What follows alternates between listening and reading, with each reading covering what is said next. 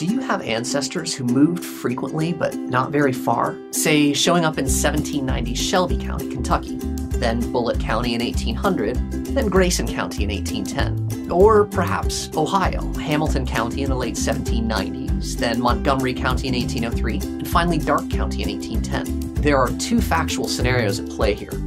First, your ancestors stayed in place, but the map changed. That's what happened in my Ohio example. I covered map changes in a previous video. Check it out. The second scenario is that your ancestors really did move a lot.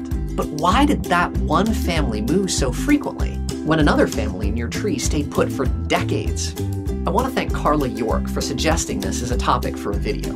She was responding to a comment where I noted that ethnic German immigrants to the United States practiced a crop rotation strategy which kept their land productive and fertile for years while Scotch-Irish backcountry pioneers would farm a patch of land for a few years until it was deprived of nitrogen, and then move on to the next. To be honest, that story is something my mother has told me for years, not something I had actually researched.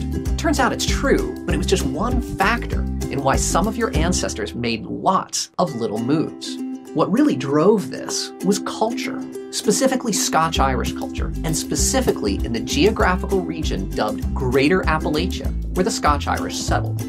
And by culture, I mean how people live their lives, from marriage and sex to how you built your house to what you cooked.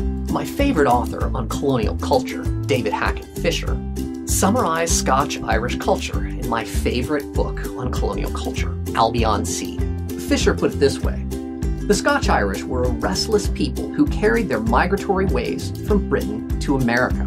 The history of these people was a long series of removals, from England to Scotland, from Scotland to Ireland, from Ireland to Pennsylvania, from Pennsylvania to the Carolinas, and so on. Fischer cites the example of the village of Fintray, which between 1696 and 1701 had over 75% population turnover. The same pattern showed up in Appalachian Virginia, where 80% of the people living in Lunenburg County in 1750 were gone by 1769 and just half of that movement occurred between 1764 and 1769. Fischer asserts that these rates of movement were exceptional by 18th century standards. Those migrations in both the borderlands between England and Scotland and in the colonial backcountry were short distance as families search for slightly better living conditions. A folk saying from the Southern Highlands gives you a better idea of how people felt.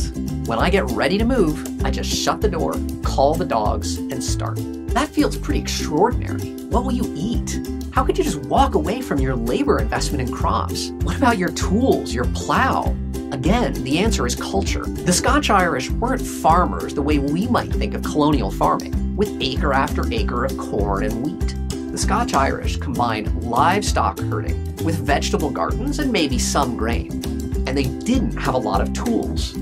Fischer cites an early 1700s primary source that colonial backcountry Scotch Irish had one axe, one broad hoe, and one narrow hoe. So when you picked up and moved, you packed up some produce, your handful of tools, and then herded your livestock a few miles to a new spot. Of course, it wasn't quite so unplanned as it sounds. In the Monongalia story, the history of one region of West Virginia, Earl Core wrote that a small group of men might come in winter or early spring, build their first cabins, clear and fence their little fields, plant potatoes, corn, beans, and pumpkins. After the crops were well started, the men would ride their horses back, again load them with additional items, and return with their families. The collaborative nature of this migration shouldn't be discounted. American culture today lionizes the rugged individualist pushing back the frontier, but frankly, that was a myth. Frontier migrations were a community affair, and the greater the distance, or the deeper into the territory of another culture that would consider your move to be hostile, the more critical it was for people to band together. Fischer notes that the first settlements in Tennessee and Kentucky were centered around military-like forts, where settlers living nearby could retreat for mutual defense.